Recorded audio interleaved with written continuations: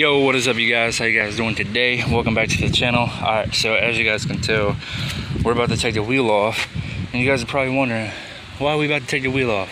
Well, that's because these uh, brake calipers need to be repainted. So I actually scuffed them up a little bit with some 80 grit and then I just painted them with some black paint.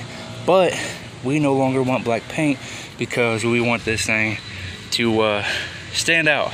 So I know you can barely see it through the spokes of the wheel, but we're gonna make it stand out and it's gonna look phenomenal.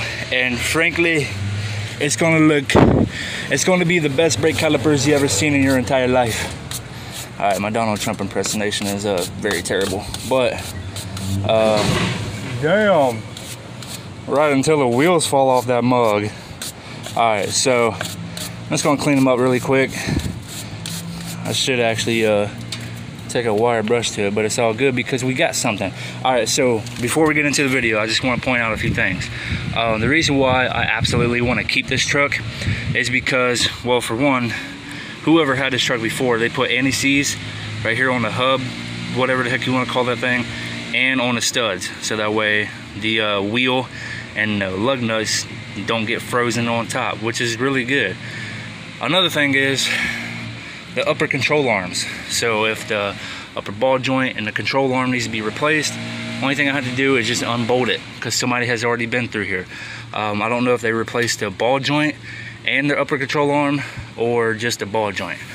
But it's bolts, it's no longer rivets. The OBS Chevy guys will know that that is a major pain when you had to replace the freaking upper ball joint because you had to drill out the rivets and it's just retarded. I don't know why Chevy decided that they was gonna do that. It's not gonna take us very long to sand it down to like bare metal because I got one of these suckers right here. Now, then again, it might take a really long time because the battery has not been fully charged because I accidentally left it in my truck overnight. Come on, man. I'm getting ready to film, bruh.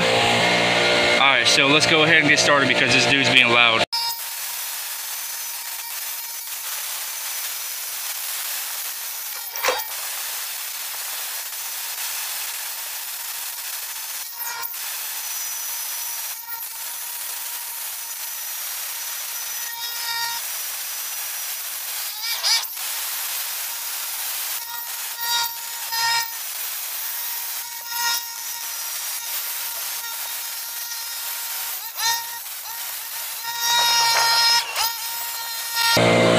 Battery died.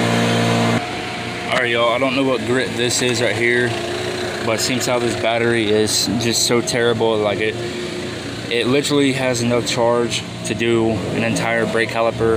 That's it. Um, so yeah, I'm gonna go ahead and hit it up with 80 grit.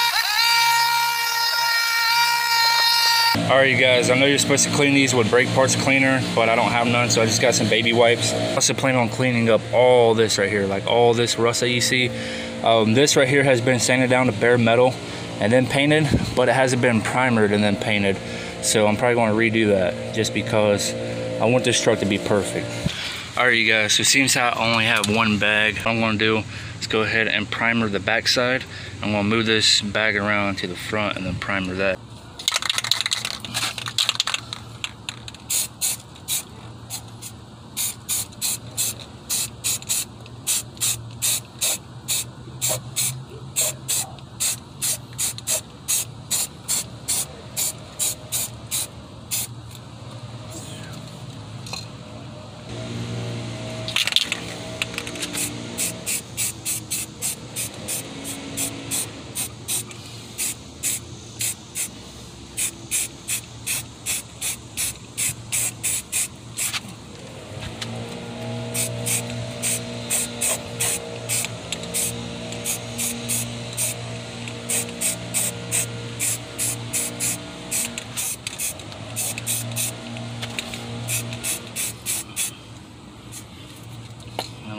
Dry.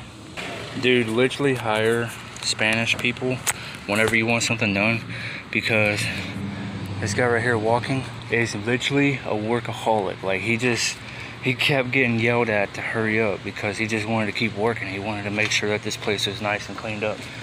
and people honked at him like four or five times, like, "Come on, man, hurry up, let's go." Like, no, dude, like he's a he's an artist. He's a professional. You cannot rush perfection. So the paint that I chose for this is um, it's kind of expensive, but not like really that expensive. Okay, you guys have seen the color of it. yeah, we're going with uh, chrome because I love chrome and it just looks good.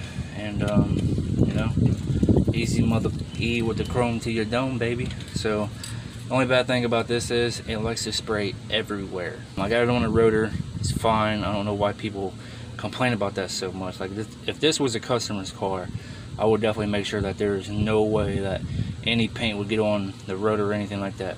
But because I know that the paint will come off when the brake pad is applied, it's fine. A lot of people will say, oh dude, it's gonna gum up and blah, blah, blah, blah.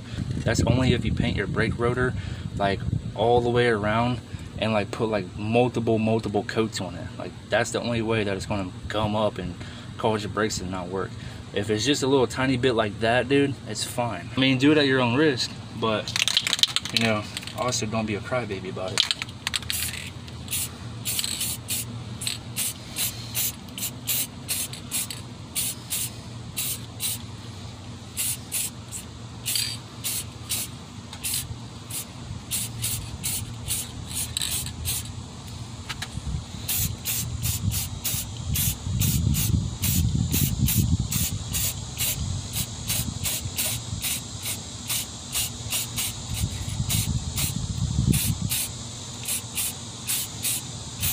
And for everybody out there saying, oh, do you need to put a few coats on at a time? You can't just keep spraying like that. I know what I'm doing. I have been doing this for years. It's literally the easiest thing to spray paint something and not get any runs or anything like that because I know what I'm doing. Like you don't spray heavy, you just mist it on everywhere and you don't have to wait time in between to let it dry. You can if you want to, but I know how to do it. I'm professional. Okay, so now that we got the back half paint up.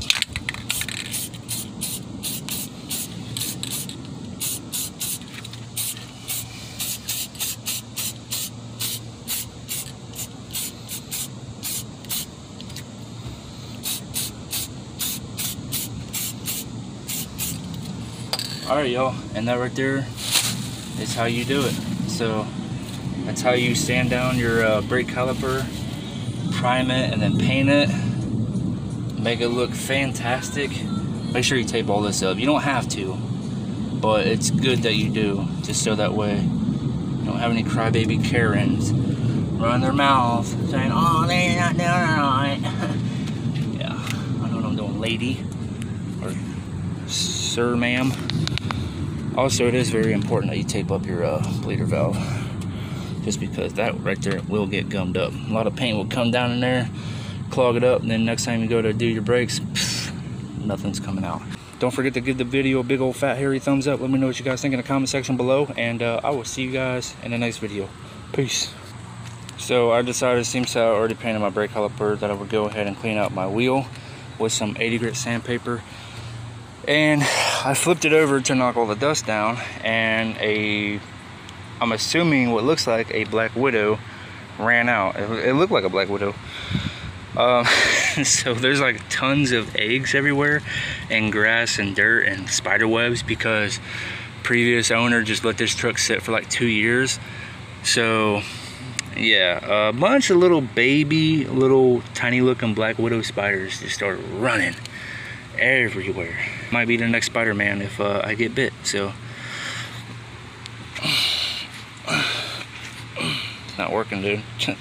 Give it time, dude. I'm telling you, man, I'll be swinging from webs pretty soon.